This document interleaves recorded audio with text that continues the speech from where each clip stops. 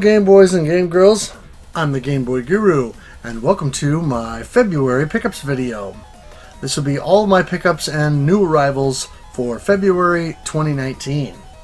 So, first of all, I got a couple of things that I had pre-ordered from Play Asia in the mail, and that would be the uh, special editions of Earth Atlantis and Rym 9000. So I thought I would quickly unbox these for you. Now, of course, I also got stickers to go along with these, as they usually send, and uh, the Play Exclusives card, because they were, the physical versions anyway, are exclusive to Play Asia.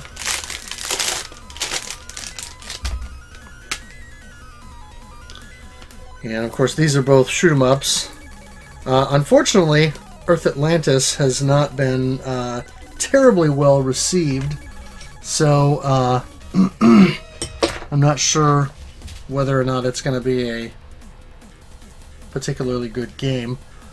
But as a shoot 'em up, better to buy when it's uh, new and widely available than when it costs four times as much on eBay because I waited too long.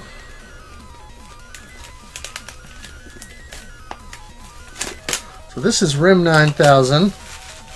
Uh, already I'm digging the uh, embossed text on the on the front here and sort of the glossy box.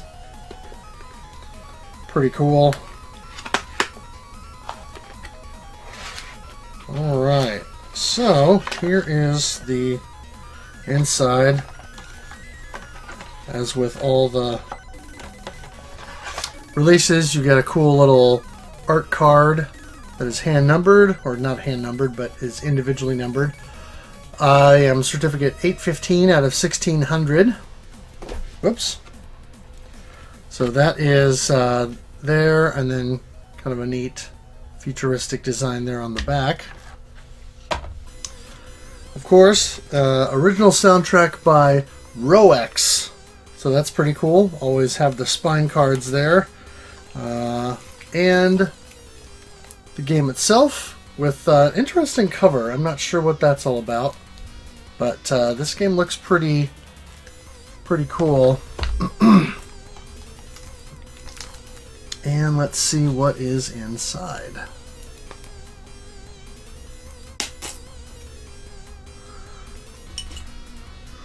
Just quickly open this up and have a peek, shall we? Assuming I can get the plastic off.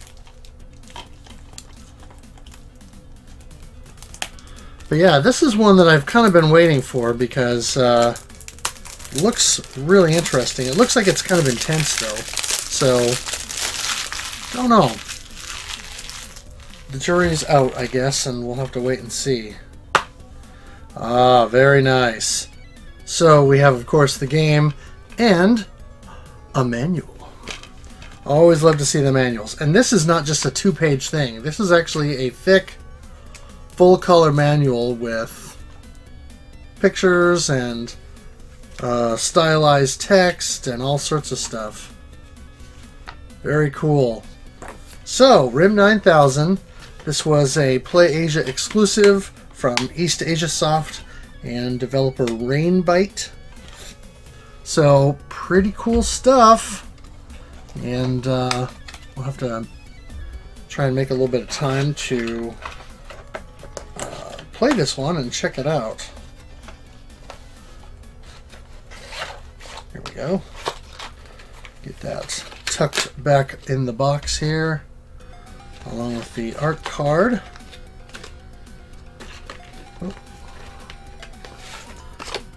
That in on the other side here. There we go. Rym 9000. now let's move over to Earth Atlantis.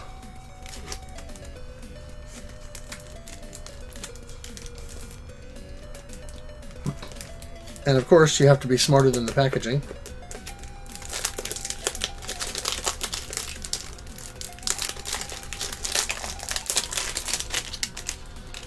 Or at least smarter than the people who designed the packaging. And unfortunately, these little poly bags they provide are a little bit fiddly.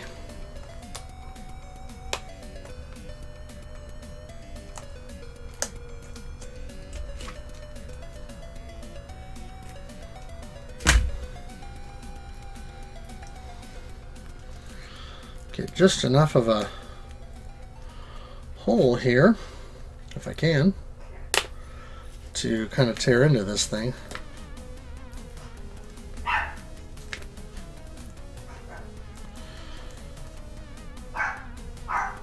And that's my dogs in the background. Oh, goofy animals. All right.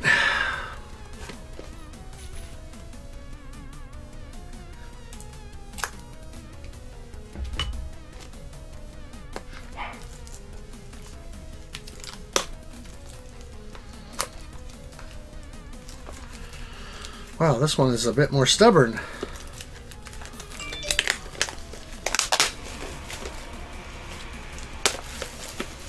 There we go. Alright.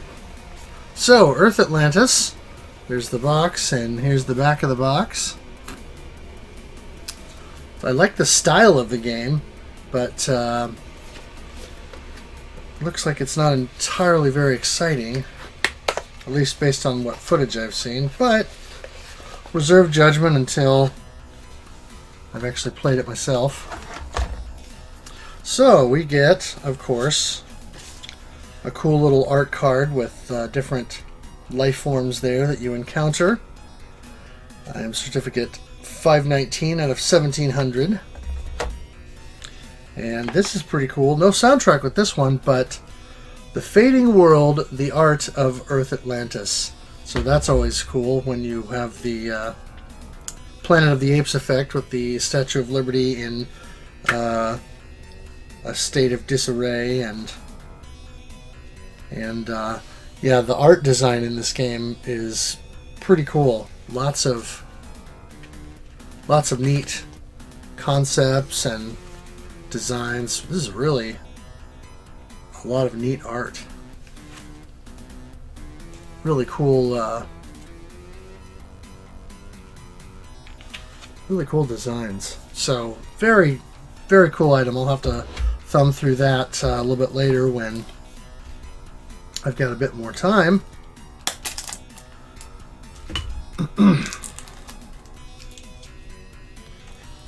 and uh, I can, you know, sit down and actually look through it.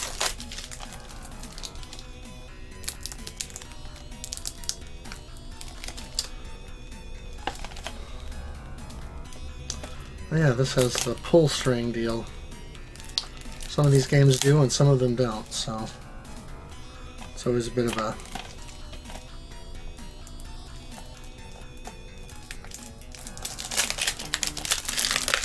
always a bit of a uh,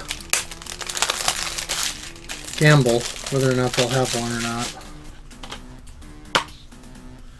Alright.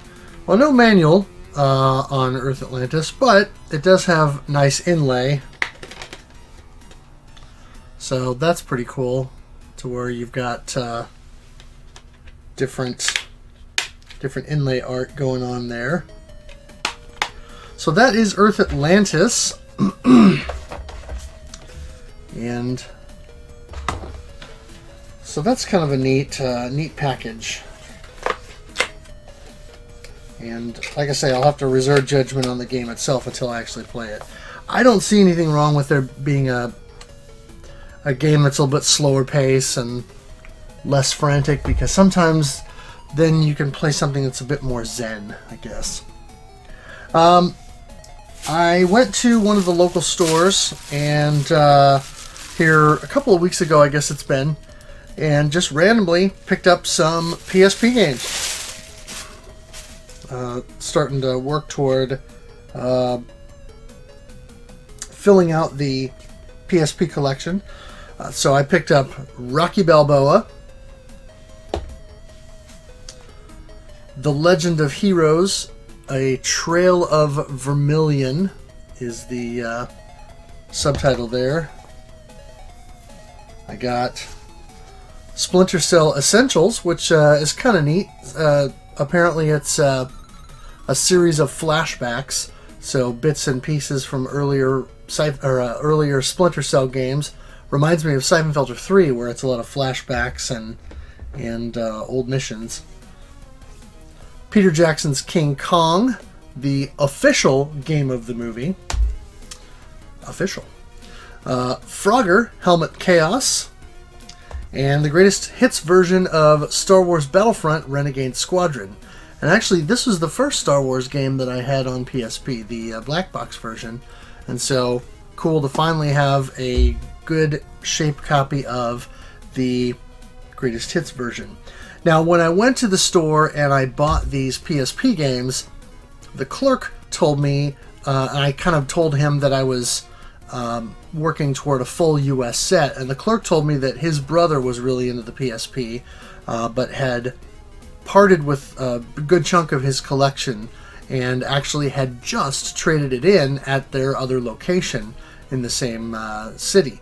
So he said in the next couple of days, you should be seeing some of those games showing up at uh, this store and then a lot of it at the other store. Which brings me to this bag. I ended up going to the other store a couple days later and was able to pick up some more stuff. So first, I'll start with my lone Game Boy pickup of the month, and that is Harvest Moon GB. So I finally got Harvest Moon on the Game Boy, and uh, that's a nice one to finally have scratched off the list. But I was able to pick up a good number of PSP games, as you can see here, and uh, definitely filled a few holes in the collection, including some RPGs. So we have Growlancer, Wayfarer of Time, Crimson Gem Saga, uh, Yu-Gi-Oh! GX Tag Force 2, Ford Racing Off-Road, Valhalla Knights, or Valhalla Knights, however you want to pronounce that. Got the standard black box version of Final Fantasy Tactics, uh, The War of the Lions. Got Phantom Brave, the Hermuda Triangle.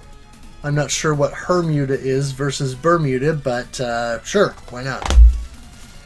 Got a black, uh, greatest hits version of Gran Turismo. Also got Dirt 2.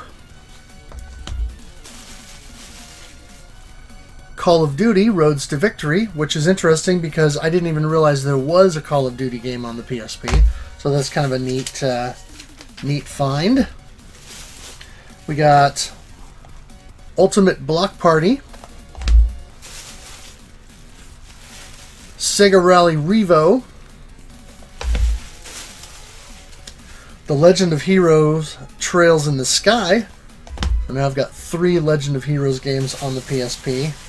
And Shepherd's Crossing, which may or may not be related to the uh, Harvest Moon series. It certainly looks like if it's not, it's uh, very much inspired by that. So that is my rather large PSP haul for the month. And I want to I want to end the video on a special note and say thank you to a uh, a subscriber and uh, someone who's been listening to my podcast, Shoot the Corecast. Uh, for those of you who don't know or haven't seen those particular videos, uh, it's my monthly shoot 'em up podcast, and um, uh, you know we talk about various shmups and things like that, and and uh, whatever the game is that we played the previous month on RF Generation. And back in December of last year, we played uh, two Atari 2600 games. We played Spider Fighter by Activision and Demon Attack by Imagic as kind of a head to head challenge thing. And uh, anyway, um, one of one of the listeners of the podcast and one of the guys who has been a big supporter of the podcast sent me something really cool. And so I got this letter in the mail from Activision. Dear Activision Spider Fighter, congratulations, you're better than Pesticide. You scored 40,000 or more points on the regular game level of Spider Fighter. It looks as if the bugs around your house will never get a moment's peace. We know it wasn't easy to hit 40,000 in this game. Those stingers and green widows have zapped even the best video gamers. It took plenty of cool and stamina to protect your fruit harvest against those lousy bugs. So, now that you've made it safe again to walk the orchards, please accept your enclosed official emblem of the Activision Spider Fighters. You've earned it. And of course, the patch uh, from 1983, I think it was, when uh, they did this. The Activision Spider Fighters patch or badge. Uh, so, huge shout out and thank you to Erbwars, uh, fellow YouTuber. Make sure you go check out his channel if you're not already subscribed.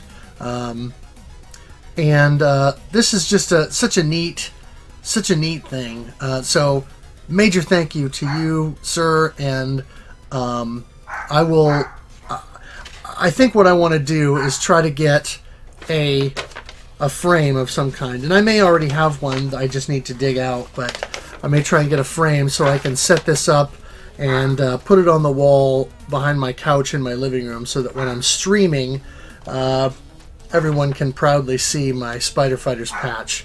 Um, because I'm not a kid on the playground anymore who would be liable to get beat up for wearing one of these, but uh, I think it's pretty cool.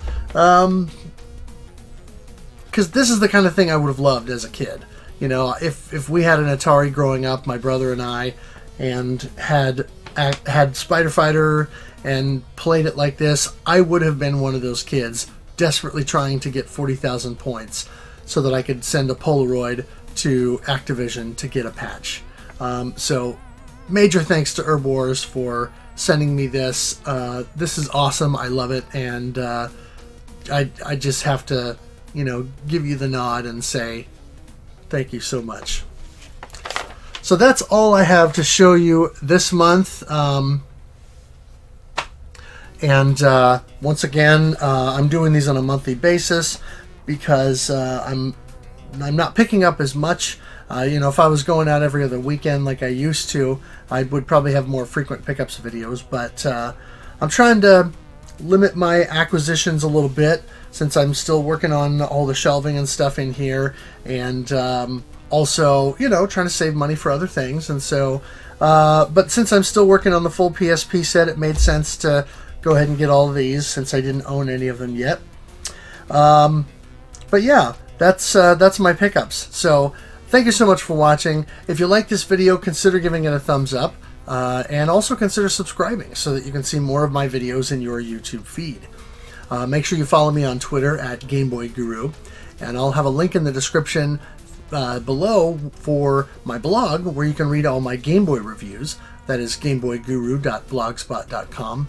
Also, make sure you check out Nirre and his channel.